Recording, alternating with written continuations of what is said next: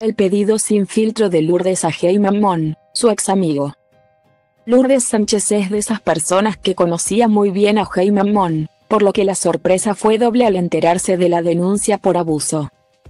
Ante esto, ella habló y le envió un mensaje directamente al conductor demostrando su enojo con lo sucedido.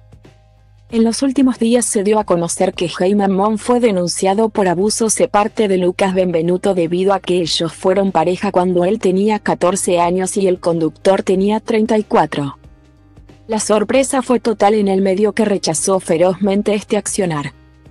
Ante esto, Lourdes Sánchez dialogó y contó cómo se tomó esta denuncia, como todos los que lo conocemos.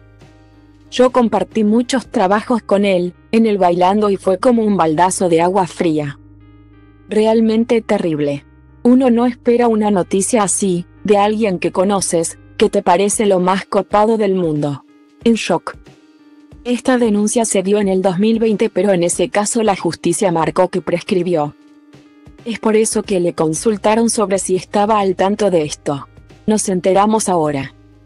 Creo que en el 2020 estaba en el cantando, y justo tuvo que renunciar por un tema del padre. Nunca se comentó, que fuera, por este tema, expresó. Hace unos días, lo único que atinó a hacer Heyman ante esto fue lanzar un comunicado en sus redes sociales en donde busca aclarar que es inocente debido a que la justicia falló por prescripción. Ante la difusión de una denuncia que la justicia resolvió prescribir, tratándose de un episodio falso en gran parte de su contenido.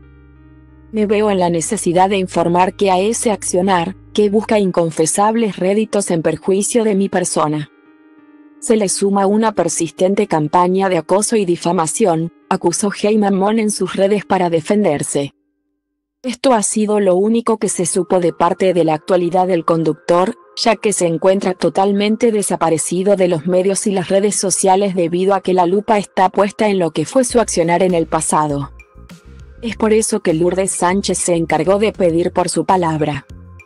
Los que lo conocemos sabemos que no fue escrito por él porque no usa ese lenguaje.